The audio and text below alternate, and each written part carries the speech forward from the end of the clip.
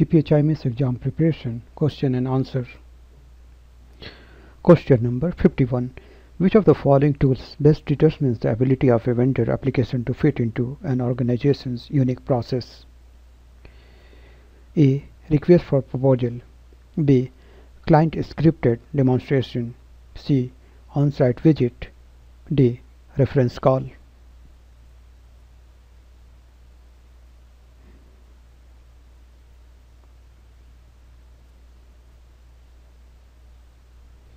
Answer B.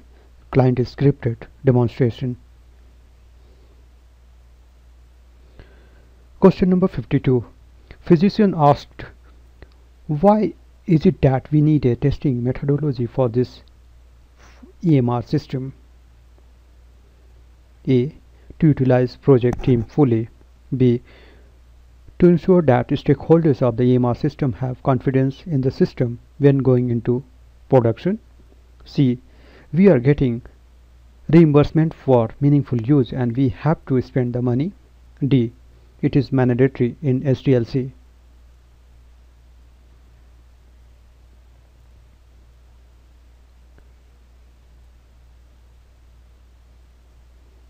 Answer B. To ensure that stakeholders of the EMR system have confidence in the system when going into production.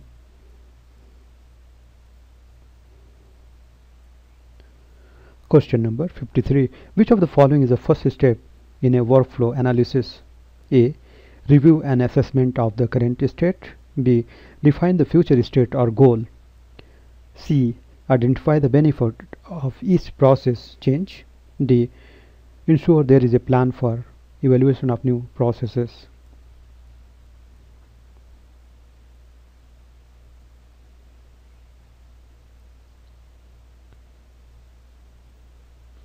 Answer A. Review and assessment of the current state.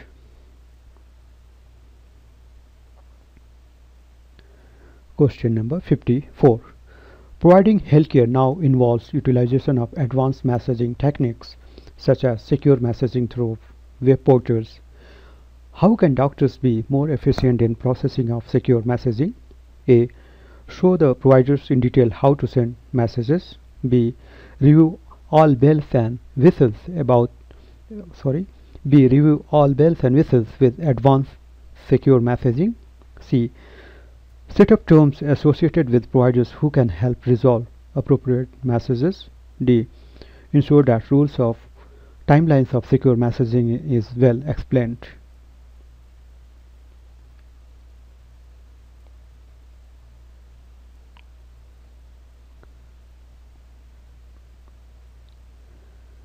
Answer C. Set up teams associated with providers who can help resolve appropriate messages. Explanation. Teaching is an important part of onboarding, but also establishing profiles for providers will do wonders for efficiencies. Setting up clinic profiles with additional individuals who can respond to secure messaging will de decrease the load of work of your new providers.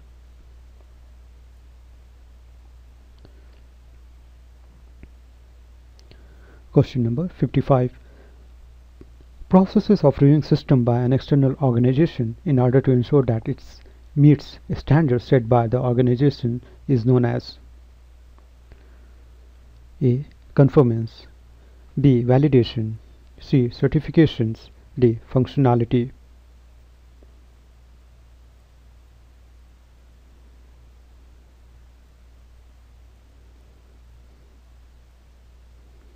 Answer C. Certifications.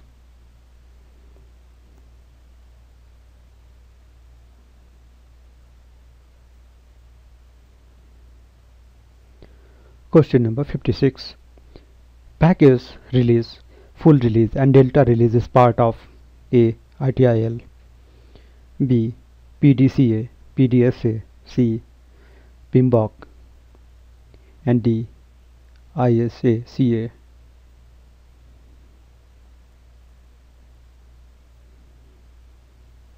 ITIL. ITIL stands for Information Technology Infrastructure Library. Question number 57. Navigating a new health system can be daunting with all the rules. What approach will yield a higher like likeliness of success? A. Establish a buddy mentor and organize forms in easy to find location. B. Show which forms matter to physician and demonstrate how to complete them. C. Invite departmental secretaries to training sessions. D. Teach the provider's medical assistants how to obtain forms.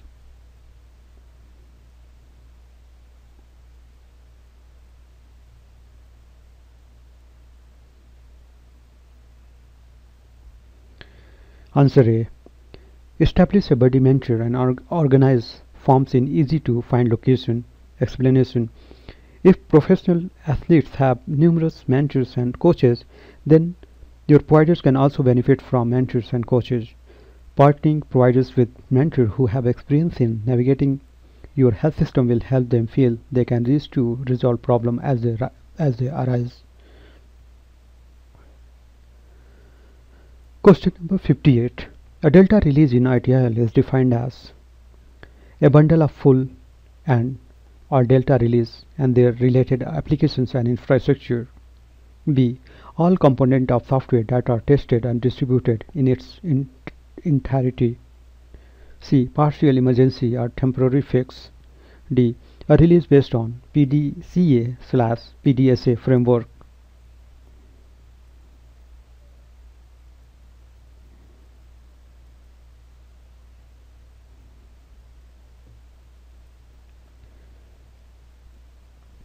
Answer C. Partial emergency or temporary fix. Question number 59. These tools are used to verify or confirm the identity of the user requesting access to information. A. Administrative controls. B. Authentication. C. Access controls. D. Physical controls.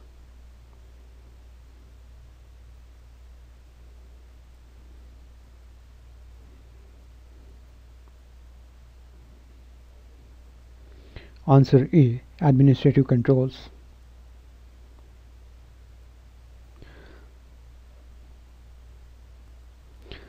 Question number 60.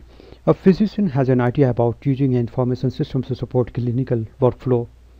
The analyst first step should be prepare a A. Functional specification document B. Technical specification document C. Functional requirement document and D technical requirement document